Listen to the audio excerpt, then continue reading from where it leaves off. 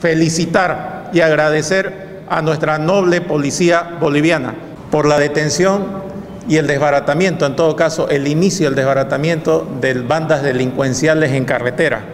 El problema inicial, sin duda alguna, se generaba para nosotros como transportadores y como este, portadores, en todo caso, de la responsabilidad. Se han dado pérdidas por camión de más de 18 mil dólares, más.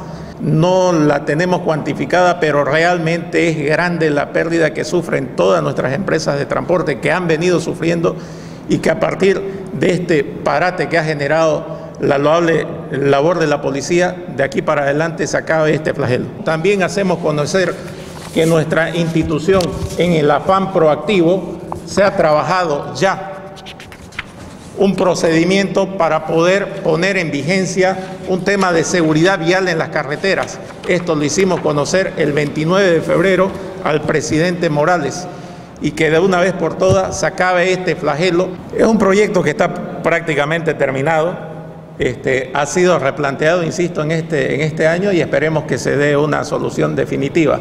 Lo que sí le puedo decir que el staff de abogados que está aquí presente hoy día con nosotros va a actuar en todo caso en defensa de, nuestro sector de agremiados y no agremiados para generar de una vez por todas un precedente y acompañar a esa noble, noble labor que ha realizado nuestra policía boliviana.